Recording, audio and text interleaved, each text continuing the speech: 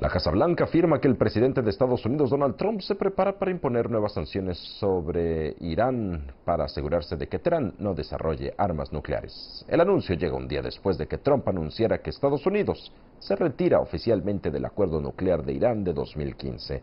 Un texto que fue establecido y negociado bajo la presidencia del entonces jefe de la Casa Blanca, Barack Obama.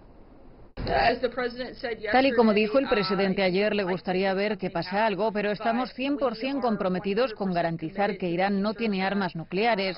Y eso hasta que veamos qué pasa. Vamos a seguir ejerciendo la máxima presión, enormes sanciones sobre ellos. Todas las sanciones que estaban en marcha antes del acuerdo vuelven a estar en vigor.